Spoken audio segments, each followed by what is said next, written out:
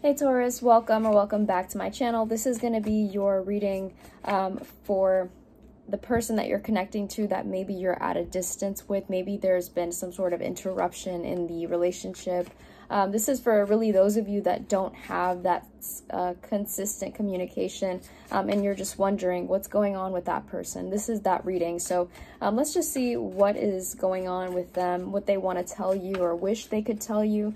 Um, and if you like this type of reading, let me know and I would love to do more of these.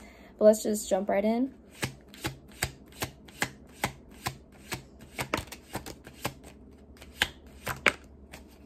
All right, so we have the King of Wands at the bottom of the deck. So whoever you are um, thinking about connecting to, Taurus, I feel like they may, they may be someone that is trying to do too much um, at this time. It feels like they've loaded their plate with so many things that they don't have as much time for you as they would want to, or maybe you're perceiving that, right? You're kind of saying, well, you know, you say you want to do this, but you have so much on your plate that you're not making me a priority or making any kind of sacrifices to, um, you know, help the relationship. So I feel like they just, they definitely have too much going on. That King of Wands could also represent that maybe this person has that uh, desire to, you know, accomplish a lot of things um, at one time as well. It's almost like they are uh, maybe the type of person that has a great heart and they're very determined to get things done, but they don't know how to establish boundaries or say no to certain things or commitments, right? They're always just saying yes. And so they have a bunch of things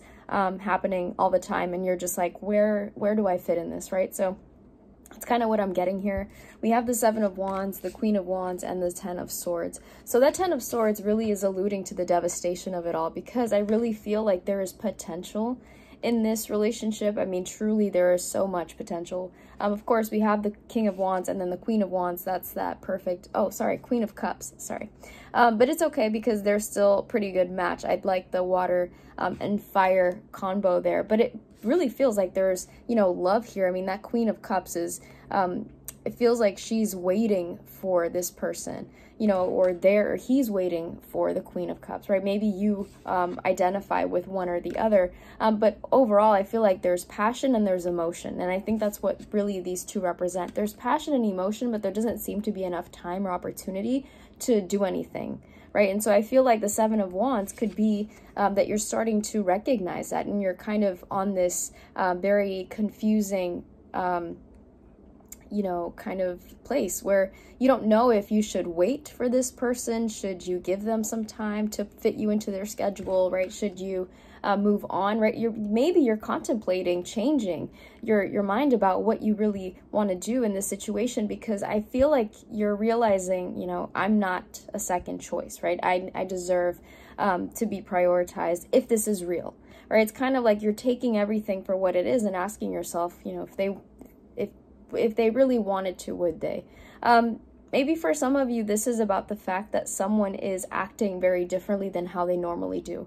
And so now you're trying to understand where that's coming from. But overall, I feel like there's something that is kind of making this difficult for the two of you that's coming from their side, whether it be that they have too much going on, too much work, maybe they're stressed out. The Ten of Swords could also represent maybe there's a um, something happening to them personally and they just can't really um, deal with it, you know, and so it's becoming a barrier uh, between you and them. Let's go ahead though and clarify that Seven of Wands because I can't tell the Seven of Wands is you, you know, needing to kind of like protect your energy and build that wall um, in order to maybe take some time to process this or if this is them being defensive and saying, what are you talking about? I am making time for you, right? Because sometimes people do that.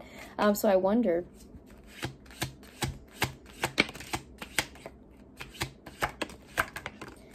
All right, so we have the Knight of Wands. So I feel like the Knight of Wands is representing that, again, there is a desire for movement. There is a desire for something to work out here.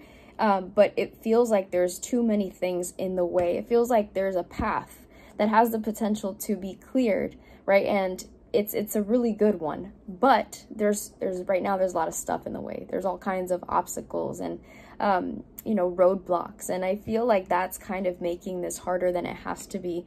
Um, it's almost like you maybe are thinking, you know, if it wasn't for this thing, uh, we would probably be on a trip or we'd be married, or we'd have this or that, right? Like you're thinking maybe about the alternative scenarios, um, and that could be very painful to know that there's potential for that to happen and yet it's not because of something um, circumstantial such as this. So we have the Ace of Swords, the Eight of Swords, and the Page of Swords. That's a lot of swords.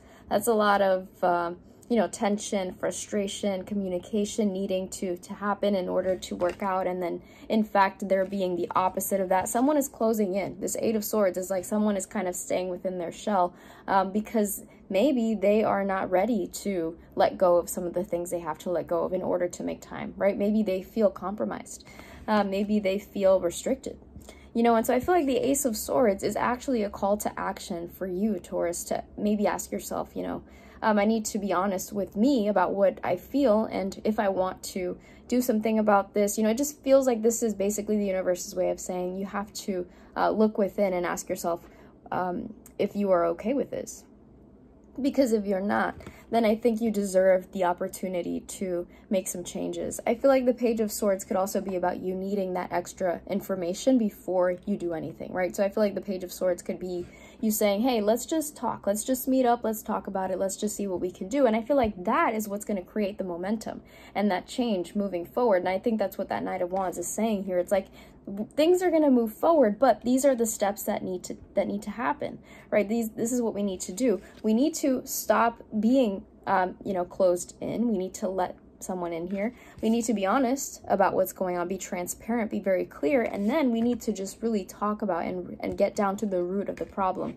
Um, because maybe you're dealing with somebody here that also has just a trouble communicating in general. And so maybe the foundation of it all has been rocky from the start, right? So there's a lot of things that could be going on. Let's go ahead and clarify the Queen of Cups.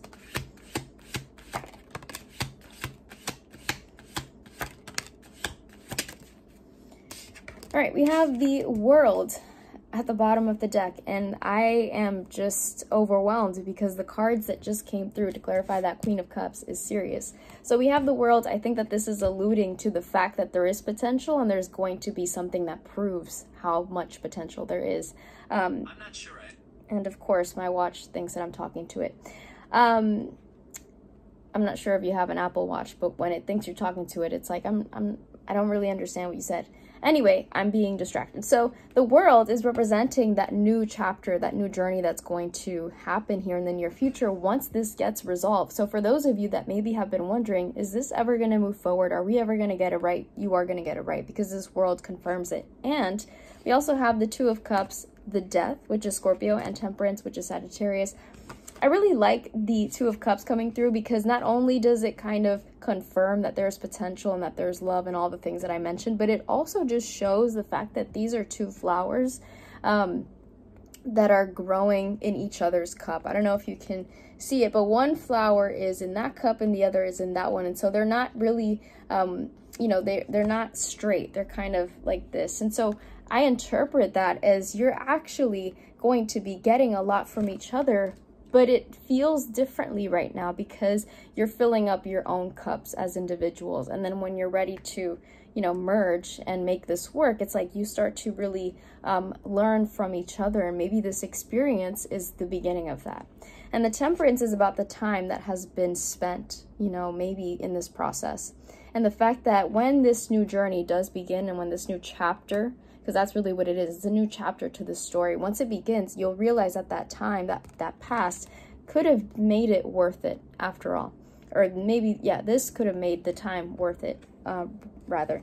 The death card is that rebirth. Um, it could also be maybe that you're connecting to a Scorpio, but honestly, Taurus, I feel like this situation is going to change drastically, um, and it's not going to be the same way that it was in the beginning, but it's certainly not going to look how you expect it to because what your person is dealing with or what you're dealing with is not something that has a name. You know, it's something that's constantly changing, constantly evolving, but only when you talk about it do you get to really describe what's going on and then you both have that understanding and then you can make a plan for how that chapter is going to start. So really love this for you. Hope that it was helpful. And if you like this reading and it resonated, please give it a like, please subscribe, and I will see you in the next one.